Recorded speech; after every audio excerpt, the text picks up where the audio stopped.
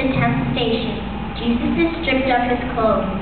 The soldiers now roughly tear Jesus' clothes from his battered, bloodstained body. He looks so weak and frail.